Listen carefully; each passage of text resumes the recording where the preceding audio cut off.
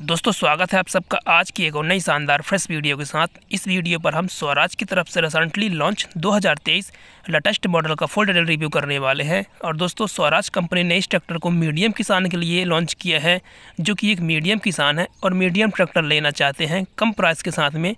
तो सबसे पहले अगर दोस्तों बात करें इसके प्राइस की तो यह ट्रैक्टर आपको पाँच लाख तीस हज़ार से लेकर पाँच लाख साठ हज़ार के बीच में मिल जाता है। दोस्तों, इसकी प्राइस हल्की ऊपर नीचे हो सकती है। डिपेंड करता है आप कौन सा मॉडल और किस स्टेट से ले रहे हैं। दोस्तों, बहुत से लोगों को कमेंट रहता है कि स्वराज का ट्रैक्टर बहुत ज़्यादा डीजल लेता है। तो दोस्तों, इस वीडियो पर मैं इस ट्रैक्टर का पूरा माइलेज बताने वाला हूँ कि यह ट्रैक्टर कितना माइलेज देगा और इसकी एस कितनी मिल जाती है। तो सबसे पहले दोस्तों, बात करते हैं इसके इंजन की। तो कंपनी ने इसमें naturally aspirated four stroke direct injection diesel engine दिया है, जो कि यह ट्रैक्टर इंजन के 2400 आरपीएम के साथ में 35 एचपी की ताकत जनरेट कर देता है। यही नहीं दोस्तों, अगर बात करें इसके इंजन क्यूबिक कैपेसिटी की तो इसमें आपको पच्चीस सीसी का वाटर कूल्ड दमदार इंजन देखने को मिल जाता है। अगर बात करें इसके फ्रंट एक्सल की तो फ्रंट एक्सल आप देख सकते हैं, जो सोलह सात सौ पैंतीस सोलह सात सौ चवालीस और सात सौ बयालीस आता है। सेम टू सेम, उसी की तरह आपको एक्सल मिल जाता है, लेकिन इसमें आपको नॉन एडजस्टेबल स्ट्रेट टाइप का एक्सल दिया गया है। अगर बात करें इसके फ्रंट टायर साइज़ की तो इसमें आप देख सकते हैं छः ज़ीरो ज़ीरो सोलह का फ्रंट टायर साइज़ मिल जाता है, जो कि सोलह सात सौ पैंतीस एफ़ डबल ई मॉडल पर भी यही फ्रंट टायर साइज़ दिया जाता है। अगर बात करें फ्यूल सिस्टम की तो इसमें आपको माइक्रोबॉस का एयर लाइन पंप मिल जाता है और इसमें कंपनी ने डबल डबल डीजल फ़िल्टर दिए हैं। साथ ही दोस्तों, इसमें आपको एक वाटर सपरेटर भी मिल जाता है, जो कि डीजल को पानी से अलग कर देता है। Three stage oil bath type का एयर फ़िल्टर दिया गया है अगर बात करें इसके प्लेटफॉर्म की तो प्लेटफॉर्म आप देख सकते हैं, कुछ इस तरह का मिल जाता है और सिंगल पैदान दिया गया है। दोस्तों, इसका platform same to same Swaraj सात सौ पैंतीस एफ़ डबल ई में जो दिया जाता है, वही दिया गया है। अगर बात करें क्लच की तो इसमें आपको ड्यूअल क्लच मिल जाता है। दोस्तों, स्वराज में आप देख सकते हैं, प्लेटफॉर्म जो है, इसी तरह का दिया जाता है, और इसमें आपको एक सिस्टम और भी ज़्यादा बेहतर मिल जाता है, जो कि इस ट्रैक्टर को और भी ज़्यादा खास बना देता है। दोस्तों, स्वराज के हर मॉडलों पर आपको फुट स्टेपर मिल जाता है। यानी कि अगर आप ट्रैक्टर लंबे समय तक चला रहे हैं तो इसमें आप ट्रैक्टर पर पैर रखकर बड़े आसानी से अपना ट्रैक्टर थोड़ा देर तक चला सकते हैं, जिससे कि पैर दर्द नहीं करते हैं। दोस्तों, यह सिस्टम स्वराज के ही मॉडलों पर दिया जाता है, जो कि आज तक मैंने किसी भी ट्रैक्टर पर नहीं देखा है। अगर बात करें इसके कुछ और भी एडवांस फीचर्स की तो इसमें कंपनी ने हाइड्रोलिक लॉक भी दिया है, जो कि काफ़ी सेफ्टी का लॉक ये यूज़ करता है। दोस्तों, ये आप देख सकते हैं, इस ट्रैक्टर में हाइड्रोलिक लॉक की पोजीशन यहाँ पे मिल जाती है। अगर आप अपना ट्रैक्टर से इम्प्लीमेंट कहीं भी ले जा रहे हैं तो अपने इस इम्प्लीमेंट को ले जाते समय इस लॉक का यूज़ कर सकते हैं, जिससे कि आपकी हाइड्रोलिक वगैरह पर झटका नहीं लगता है और आपकी हाइड्रोलिक थोड़ा और लंबे समय तक चलती है। दोस्तों, अगर बात करें इसके रियर टायर साइज़ की तो इसमें आपको देख सकते हैं सी एड का कंपनी फिटेड बारह चार अट्ठाईस का रियर टायर साइज़ मिल जाता है, जो कि यह ट्रैक्टर 35 एच पी कैटेगरी के अंदर आता है, जिस हिसाब से कंपनी ने इसमें काफ़ी अच्छा टायर साइज़ दिया है। दोस्तों, स्वराज ने इसे 35 एच पी कैटेगरी के अंदर लॉन्च किया है, लेकिन इसमें आपको पावर स्टीयरिंग भी मिल जाती है। यानी कि दोस्तों, आप देख सकते हैं कंपनी ने इसमें डबल डबल टेंडम पंप लगा कर दिए हैं, जो कि एक हाइड्रोलिक के लिए मिल जाता है और एक स्टेयरिंग के लिए मिल जाता है। दोस्तों, दोनों पंप अलग अलग होने से हाइड्रोलिक और पावर स्टेयरिंग काफ़ी ज़्यादा स्मूथ चलती हैं, यानी कि दोनों की सेंसिंग काफ़ी ज़बरदस्त हो जाती है। उसी के ऊपर आप देख सकते हैं 36 एम्पियर का अल्टीनेटर लगा कर दिया है, जो कि यह अल्टीनेटर बैटरी को काफ़ी फास्ट चार्ज कर देता है। दोस्तों, यह ट्रैक्टर स्वराज सात सौ पैंतीस एफ़ के जैसे ही फुल फीचर्स के साथ में लॉन्च किया गया है। इसमें भी आपको ढाई किलो वाट की 12 वोल्ट सेल्फ मोटर मिल जाती है। इसमें आप देख सकते हैं, इसकी पोजीशन कंपनी ने यहाँ पर रखी है। यह ट्रैक्टर काफ़ी ज़बरदस्त फीचर्स के साथ में कंपनी ने लॉन्च किया है।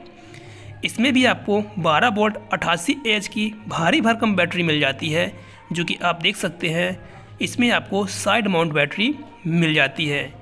हाइड्रोलिक फ़िल्टर की पोजीशन आप देख सकते हैं, यहाँ पे मिल जाती है। अगर बात करें इसके फ्रंट की तो फ्रंट का लुक आप देख सकते हैं। फ्रंट में लुक कंपनी ने कोई चेंजेस नहीं किया है, ये आप देख सकते हैं। वही पुराना वाला लुक मिल जाता है।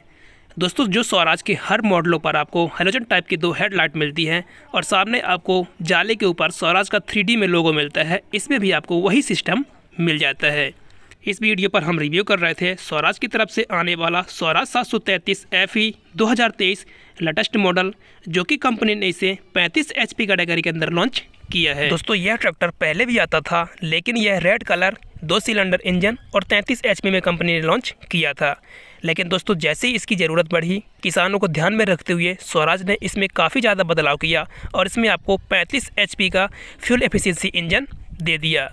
दोस्तों, अगर बात करें इसके कुछ और भी एडवांस फीचर्स की तो हम इसकी एस दिखाना चाहेंगे। जैसे मैंने पहले ही बताया था, हम इसका माइलेज भी बताएँगे। तो आप देख सकते हैं, इसमें आपको दो सौ बहत्तर ग्राम किलोवाट पर घंटे की एस मिल जाती है। दोस्तों, अगर मैं कंपेयर करूँ इसको Swaraj 735 F double E model से तो इसकी डीजल खपत उसकी अपेक्षा थोड़ी ज़्यादा मिलेगी। अब दोस्तों, बहुत से लोग कमेंट करेंगे, यह ट्रैक्टर कम एचपी का है तो इसका डीजल खपत कम होना चाहिए। तो ऐसा नहीं है। इसकी एस आपको दो सौ बहत्तर की मिल रही है और स्वराज सात सौ पैंतीस एफ़ डबल ई की दो की मिलती है। यानी कि स्वराज सात सौ पैंतीस एफ़ डबल ई मॉडल इससे कम डीजल लेगा और यह ट्रैक्टर उससे थोड़ा डीजल ज़्यादा लेगा। दोस्तों, हमारे व्यूवर्स सुभाष चंद्र गुर्जर जी हमें बहुत पहले से कमेंट कर रहे थे यह ट्रैक्टर का रिव्यू करने के लिए, लेकिन हम इनसे माफ़ी चाहेंगे। भैया जी, आपके कमेंट का यह ट्रैक्टर हमें एजेंसी पर मिल नहीं पा रहा था, जिसके चलते आपका वीडियो हमने बहुत ही लेट अपलोड किया है। अब चलते हैं दोस्तों ट्रैक्टर के पीछे और दिखाते हैं पीछे का लुक साथ ही बात करेंगे, इसमें आपको कैसी पीटीओ और लिफ्टिंग कैपेसिटी कितनी मिलती है। दोस्तों, अगर बात करें इसके पीछे के प्रोफ़ाइल की तो पीछे का प्रोफ़ाइल आप देख सकते हैं, कुछ इस तरह का मिल जाता है, जो कि इसमें आपको हु बहू सब कुछ सौराज सात सौ पैंतीस एफ़ ई की तरह डिज़ाइन किया गया है। इसमें भी आपको थ्री पॉइंट लिंकेज मिल जाते हैं, जिससे कि आप टॉप लिंक फंसा सकते हैं सिंगल डिस्ट्रीब्यूटर वाल्व मिल जाता है। इसमें आपको कंपनी फिटेड कपलर मिल जाता है। अगर बात करें इसकी सीट की तो इसमें आपको डिलक्स टाइप की एडजस्टेबल सीट मिल जाती है सेवन पिन का सॉकेट मिल जाता है।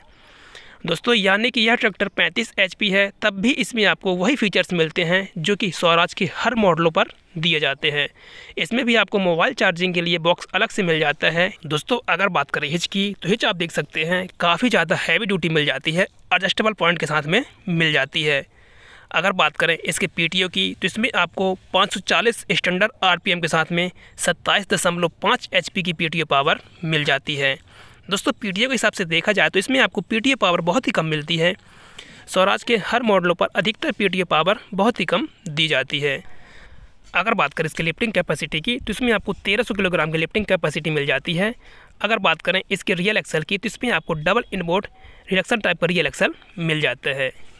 दोस्तों, अगर बात करें हाइड्रोलिक कंट्रोल की तो इसमें आपको दो लीवर मिल जाते हैं पोजीशन कंट्रोल लीवर और ड्राफ्ट कंट्रोल लीवर अगर बात करें स्टेयरिंग की तो स्टेयरिंग आप देख सकते हैं, वही पुरानी लुक वाली मिल जाती है।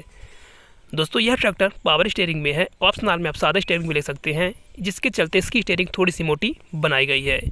अगर बात करें इसके डैशबोर्ड की तो डैशबोर्ड आप देख सकते हैं, सब कुछ आपको वही पुराना वाला लुक मिल जाता है। सिंगल पीस पुनट दिया गया है और छियालीस लीटर का फ्यूल टैंक मिल जाता है। तो दोस्तों ये है ट्रैक्टर के ऊपर का व्यू आप देख सकते हैं, कुछ इस तरह का मिल जाता है। काफ़ी अच्छी जगह मिल जाती है। ये मैं दिखाना चाहूँगा। तो देख सकते हैं, साइड से लुक कुछ इस तरह का मिलता है। सीट के सामने भी आपको काफ़ी अच्छी जगह मिल जाती है। तो दोस्तों, ट्रैक्टर का लुक एक बार और देख सकते हैं आप, कुछ इस तरह का मिल जाता है, जो कि यह ट्रैक्टर हु बहू स्वराज के 735 एफ़ डबल ई, सात के जैसे ही डिज़ाइन किया गया है, लेकिन थोड़ी इसकी लंबाई चौड़ाई घट जाती है। तो दोस्तों, आशा करता हूँ यह वीडियो आपको काफ़ी पसंद आया होगा। दोस्तों, आगे ऐसी वीडियो देखने के लिए हमारा चैनल ज़रूर सब्सक्राइब करें, साथ ही घंटी भी दबा दें ताकि अगली वीडियो का नोटिफिकेशन मिलता रहे। तो मिलते हैं दोस्तों, अगली वीडियो में, तब तक के लिए नमस्कार।